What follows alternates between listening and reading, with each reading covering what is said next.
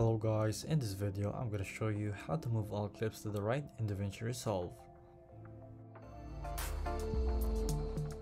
So to do this it's pretty simple. So let's say we want to move all these clips right here to the right side of our DaVinci in our timeline. So all we have to do is actually hold down Command Shift and then period. That's it. So for Windows, it's going to be Control Shift period. For MacBooks, it's going to be Command Shift period. So for example, this is what's going to look like. Command Shift right period, which is your right, and left for your comma. Just hold it down and there you go. We're just transferring it to the other side.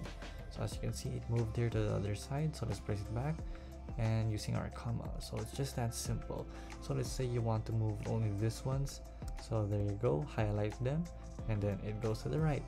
And there you go. And it's just that simple. So there you go guys. If you find this video useful please hit the like button and don't forget to subscribe.